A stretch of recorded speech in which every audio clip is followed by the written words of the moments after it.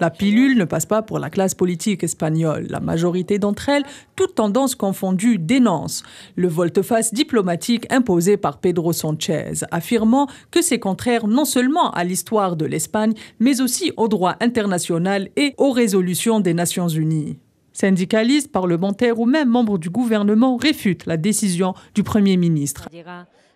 Ainsi, la deuxième vice-présidente du gouvernement espagnol et ministre du Travail et de l'économie sociale, Yolanda Diaz, déclare se démarquer totalement de la position de son supérieur au même titre que Lon Bellara, ministre des Droits sociaux et secrétaire général du parti Podemos. À noter que Podemos fait partie des 11 blocs de parlementaires aux côtés de l'Euskal Herria Bildu, Mas País, Compromis et la coalition Canaria à avoir demandé ce lundi une comparution du Premier ministre à la Chambre des représentants pour expliquer ce changement de position.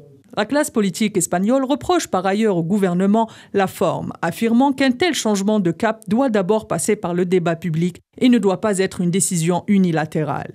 C'est dans un contexte assez sensible qu'intervient cette décision de Sanchez, dont la légitimité et la popularité ne sont pas au beau fixe. Ajoutant à cela un front social bouillonnant et la crise des indépendantistes plus que jamais au devant de la scène politique du pays.